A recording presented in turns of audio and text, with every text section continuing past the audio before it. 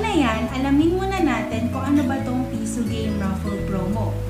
Ang Piso Game Raffle Promo ay isang raffle ng Shopee app na pwede kang manalo or makabili ng appliances or gadgets for just only 1 peso. At ang raffle promo na ito ay ginaganap every 12 noon ng tanghali up to tomorrow ng 12 noon ng tanghali. So, for example, ngayon, June 30. So, nag-start yung raffle promo ng Shopee kanina 12 ng tanghali at matatapos ito July 1 bukas ng 12 ng tanghali. At bukas rin ng 12 noon ng tanghali natin malalaman kung mananalo ka ba or hindi. Ngayon, merong dalawang paraan para sumali sa Piso Game Raffle promo ng Shopee. Pwede yung through coins or pwede rin namang through Shopee Wallet. At ituturo ko yun ngayon. Ayan na po.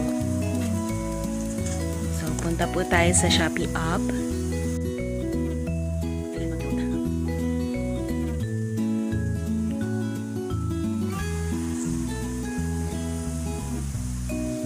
Makikita nyo po, meron akong 40.76 coins. So, punta tayo sa search bar at i-search natin ang Piso Game.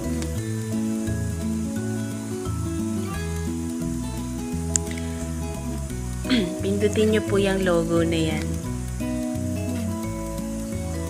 So, ngayon po, ang price po natin ay yung Zenfone Max Pro M2.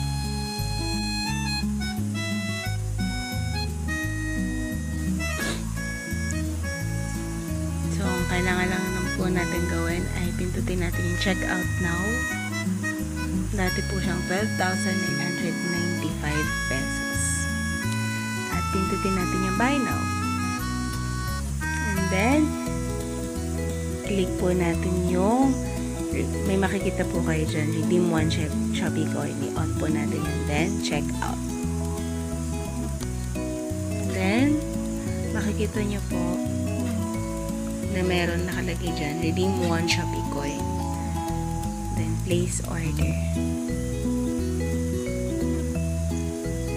Then, automatically, may ilalagay na po yan sa to ship po ninyo.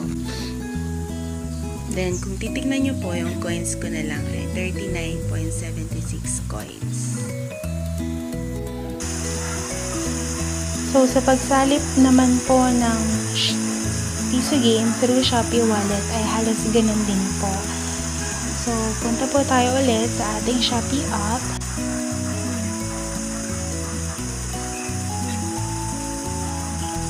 Mapapansin nyo po, meron akong 259 pesos sa aking Shopee wallet. So, punta po tayo ulit sa search bar at search ang Piso Game.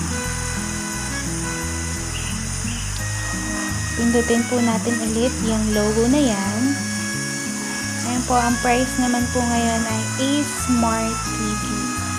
So, pindutin, po natin yung play now.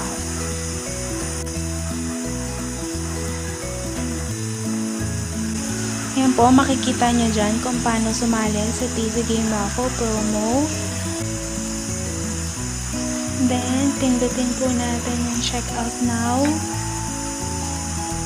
Kung mapapansin nyo po, dati siyang 12,599 pesos. So, pindutin natin yung buy now. Then, mapupunta po tayo sa cart. Then, pindutin natin yung check out agad. And then, kung kanina po, sinabi natin redeem one Shopee coin. Pero ngayon po, payment option natin ngayon ay through Shopee Pay. Pindutin po natin yung place order.